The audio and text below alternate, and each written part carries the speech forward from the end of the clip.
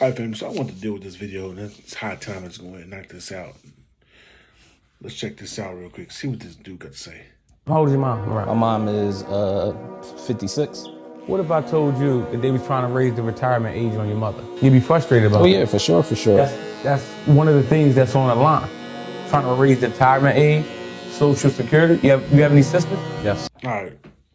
Retirement age and also retirement. Anybody who's listening to Jason Black knows that uh, retirement was actually not meant for everyday citizens, because to effectively retire, you have to start early. Early. You have to start like in your twenties, really like 18, 19 years of age, with a large sum of money put into the four hundred one k, so you can be able to retire when you turn 65, 70, whatever problem. Most of us don't know that. Most of us don't have that type of money, white folk included. Um, most of us are not gonna put in that much money because we don't make that much money personally.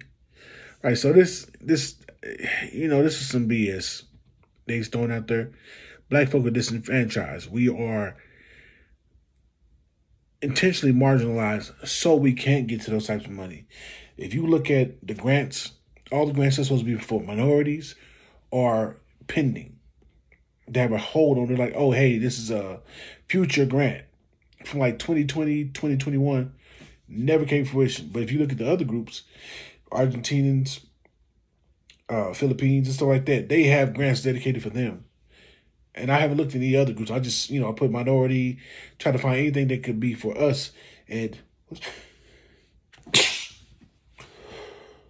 sorry about the black family. I was just kicking my butt early this morning. How you know those grants we don't get, and if you do have those grants, we're the last to be looked at. So yeah, that that's I, I feel like you're doing the most with that statement. I feel like you're doing the most with that statement. Let's keep going. Well, brother they have kids? Yes. Look at them entitlement programs, childcare. We come from that. Those food stamps helped us out. So when the other side talking about we want to cut that, we want to raise the retirement my mom is 56. My mom walks with a limp right now. She can't work another 20 years. So this whole food stamp thing, the current administration, as we've seen, are giving these illegals, people who have not made one dollar that was taxed and put back into the American economy, upwards of twenty grand. They get fifteen thousand in food stamps, five thousand in cash benefits monthly. You know what we could do with that?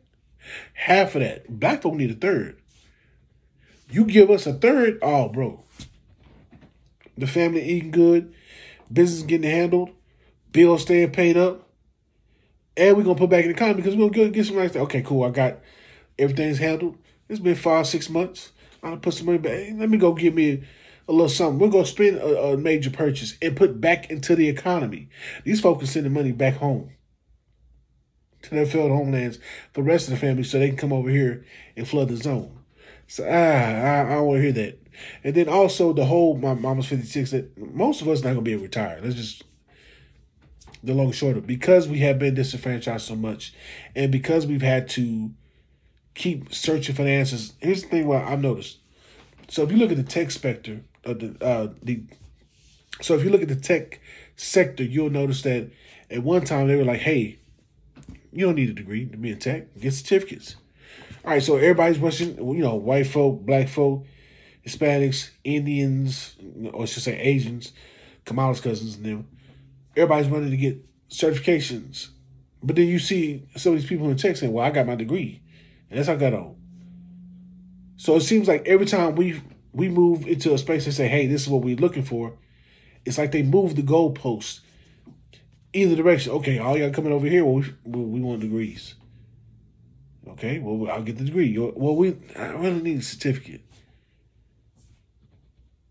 I got certificates, but then you said it was degree. Now you says, so it's, it's constant back and forth that moves goalposts. It makes it hard for us to get into these spaces where we can make the good money. Because tech is tech people make good money, really good money. You know they don't want black folk having that type of money. Because you know what we're to do? We're to build something. We're to build something quickly. It's going to be efficient. It's going to be better than anything in, in anybody in the dominant society could build. But they don't want that. So this idea that, um, you know, she's older, Well, guess what? Here's, here's the unfortunate part.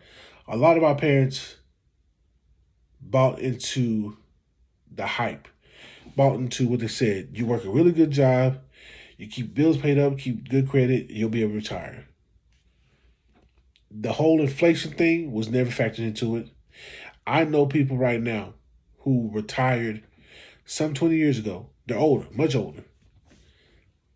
And they're struggling now because of inflation, because of cost of living going up. So, unless you think of these things ahead of time and put yourself in a really good position, you're not technically gonna be retired. And if you do retire, you honestly need to have some type of vehicle that is semi-automated to automated where it's making money for you and it's growing with the economy or has the potential to grow with the economy because if you don't you go that inflation is going to catch up to you and you're going to be back working you that's why you see so many people at walmart that are older they they more likely retired, and they can't retire no more. I got to go back to work.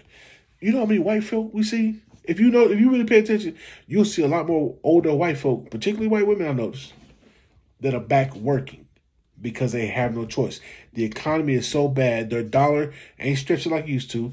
They retired in the nineties, early two thousands, and now they gotta go back to work.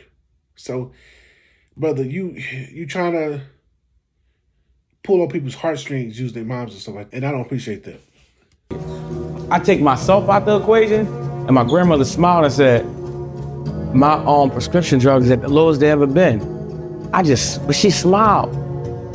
I may not ever have that moment again, but seeing that and hearing that from your grandmother, I said, I know what I'm voting for. My grandma never st- steered me wrong in my life. All right, so this last part where her prescription drugs are the lowest they've ever been nobody's gonna have perfect health. But my thing is, and you see, I'm a big dude. I, I I'll admit I'm two ninety. I should not be. I'm only five nine and a half. If I was like seven foot, it make it makes sense then.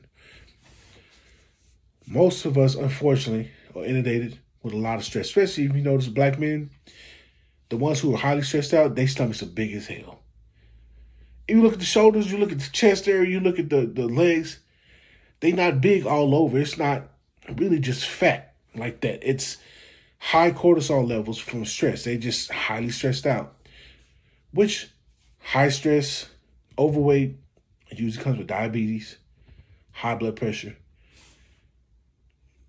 Your heart's weakened over time because it's strain on your body, pancreas, liver, all these other things, especially, and then the you know higher levels of depression. So you start drinking more, you're smoking more, then you got to eat something to put on your belly, so now you're overeating. All this is a combination of bad life practices and dealing with the dominant society, dealing with I'm not making enough money. Uh, dang, I got to pay these bills. How do I triple my income? How do I double my income? I'm 40, and the things I should have known or should have been taught when I was 15 to 20, I'm learning between 35 and 40. Now there's a sense of urgency. I got to catch up. I gotta figure it out. I gotta figure it out fast. I got I gotta get time's not on my side. Most of us feel like we're like right here with the water. The water of life is right here. And every now and again it goes up and we we try to get up over it.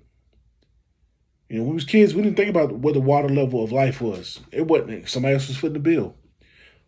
But now you're adults, it's right here. It just seems like it just keeps the waves just go right over your nose and you're like drowning. We're trying to be successful, trying to put your children in good positions, trying to make something of yourself, trying to keep all the bills paid, double the income, be a father, be a husband, be a good uh, be a good baby daddy or whatever. And I'm not, and sisters, I'm not discounting you, but I'm not a woman. I can't speak for women like that. Never been a woman, don't want to be. Y'all do an excellent job. Y'all can have that. But you're dealing with all these things. So that's stress from that. You're dealing with the dominant society, see the things they, they're doing. Stress from that. Your woman looks for you to lead. Your children look for you to provide. All this is going on. It's just a combination of ball of unmitigated, unwavering stress that you have to manage as a man. And you've learned all this stuff later in life. So now you're trying to figure out how to get your children in a position so they don't have to do like you did or struggle the way you did. And it's it's a lot. Sometimes it feels like it's insurmountable. As Jason say, look it up. That's the long and short of it. So them putting out this little piece, I don't appreciate it. I think it's uh uncalled for, and it's super vague, and they're pulling on people's heartstrings. Your mother, your mother, think about your mom, your mother, your mom. Well, mom's part of the past, unfortunately. You're the present. Your children, your nieces, your nephews, etc., your your grandchildren, your great grandchildren, great nieces, great nephews. Those that's the future. What do you think about them? You think about the past, the people who are have less days in front of them than they do behind them. You know, think about the ones that got more days, years, months, weeks, and stuff ahead of them. You're not thinking about them. You're not prepared for them. I think we should have respect for our elders, but we should also move in a way where we understand that they're not going to live forever, just like we're not going to live forever. So let's build for the future and prepare the next generation so it's not a cyclical thing where everybody's just constantly struggling. That's all I got to say. Be one.